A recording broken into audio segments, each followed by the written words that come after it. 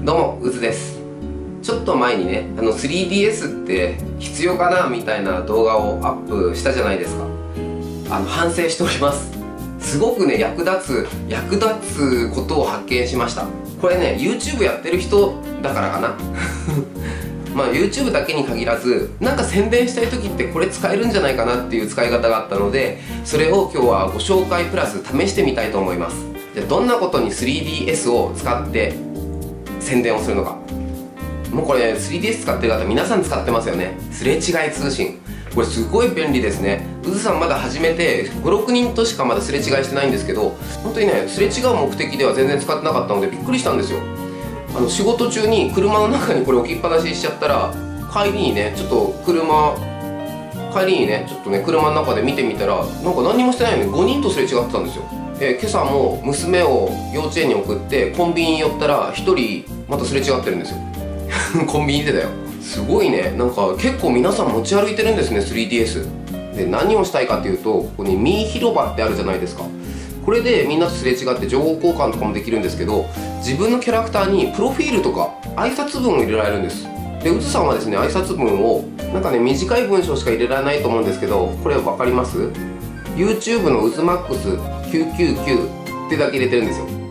要はあのすれ違った方がこのコメントは必ず目を通すんですよ。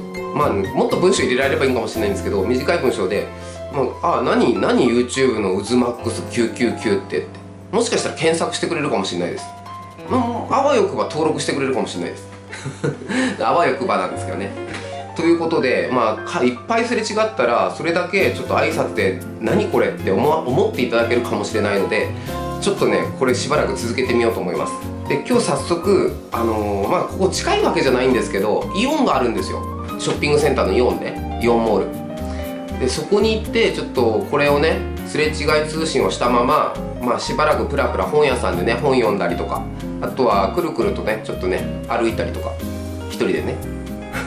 娘たちも奥様も今日いないので。なので、えー、それ試してみようかと思います。今日は何人にすれ違えるのかなっていうちょっとね期待も。ただ本日火曜日です。平日。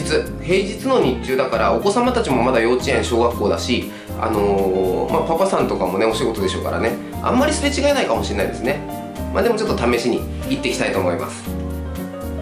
では一旦バイバイ。ということで群馬県の太田市にあるイオンに来ました。こちらですれ違い通信 3DS の機能をちょっと試してみたいかなと思います。しばらくねちょっとプラプラと本屋さんとか行ってきたいと思います。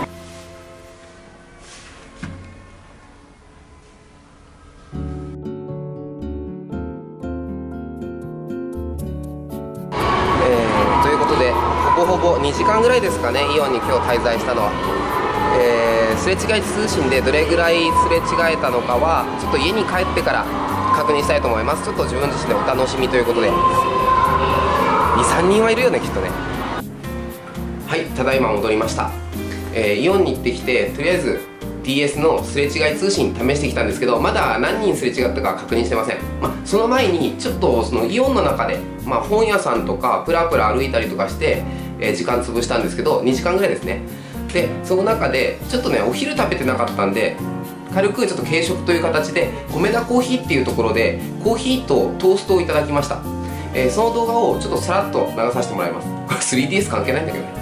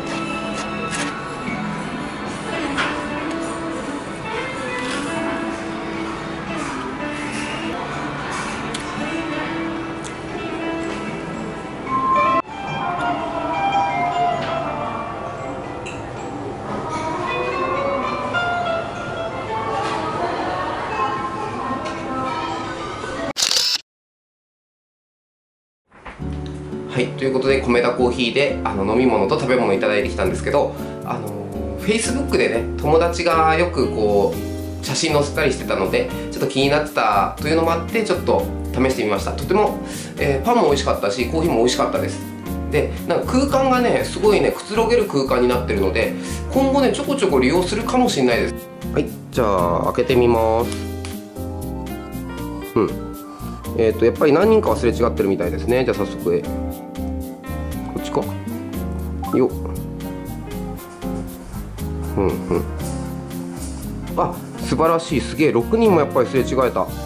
6人すれ違えましたね。素晴らしい。ということで今回はあの平日ですね。火曜日の昼お昼にイオン行ってみたらまあ2時間ほどの滞在で6人とすれ違いましたっていうことですね。もっとすれ違えるかと思ったんだけど、まあ、こんなもんでしょうね。3DS 持ってる人じゃなきゃねすれ違えないからね。逆にこのこの時間帯で6人も 3DS をカバンの中に入れて歩いてるわけですよ。素晴らしいですね。土日とかもしくは子供が学校終わったりとかして行ってみたらもっとちょっとね数字の方は跳ね上がるんじゃないでしょうか。試してみようかな今度。ということで動画の冒頭で言ってたみたいにうずさんは自分の YouTube をちょっと宣伝する目的も持ってこのすれ違いっていうのを試してますのでまあ今日出会えた6人の方あの YouTube のうずですっていうコメントを見て動画見てくれたら嬉しいんですけどね。まあそううまくいかないか。でもこれをね繰り返してたら結構ねいい宣伝になるんじゃないかなと感じました。えー、まあ YouTube だけじゃなくてね何かお店やってる人とかでもねこういうすれ違い通信でちょっと活かすと面白いんじゃないでしょうか。何々ってお店やってる何々ですみたいな、まあ、短文しか確か入れられなかったのでもうちょっと長文入れられたら面白いですよね。ということで本日は、えー、米田コーヒーと 3DS のすれ違い通信っていうのはすごい便利だなっていう動画にさせていただきました。ではまた別の動画でバイバイ。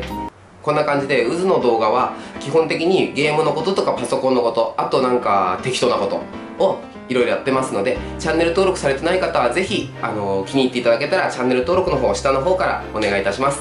Twitter もやってますからね。Twitter の方もリンクから飛んでいただいてフォローしていただけると、まあ、動画 YouTube のことやツイキャスのことなどをつぶやくこともございますのでぜひ登録の方フォローの方よろしくお願いいたします。